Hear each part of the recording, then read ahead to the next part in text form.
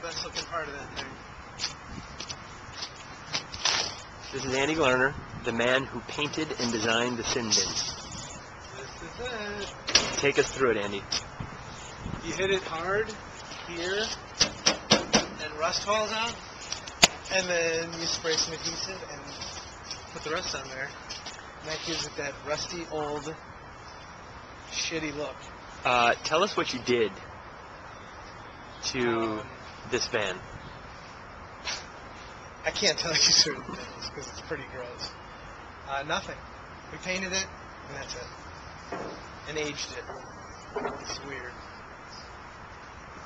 Uh, will you take us inside of it? Oh yeah. Well, here's the line header. The tape. That was a Billy call. The tape. There was actually duct tape holding something on here. Who's Billy? Billy the director. Billy Federici. Um, and so I taped over it and uh, to save the duct tape look, and then taped over it with this, and it looked so cool, and we kept it. Um, he loved the idea of the actual keeping the duct tape. So Well, take us inside of it. okay, that's all paint. Um, here she is. Here's another good rust spot.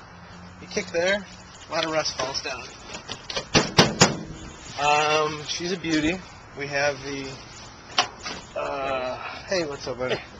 All right. Um, I don't know how to move this seat. But here, let's go look inside. This is Justin and Angela and other people. That.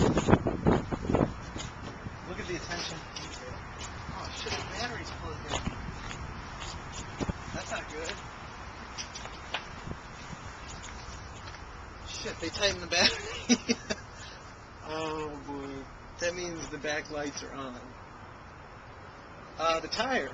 Another late addition to the inside.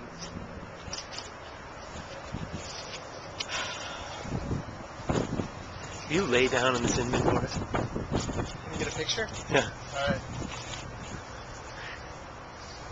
Oh, it's wet. Notice the lights.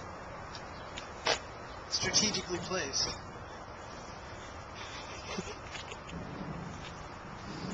Big fucking deal. Fucking simple.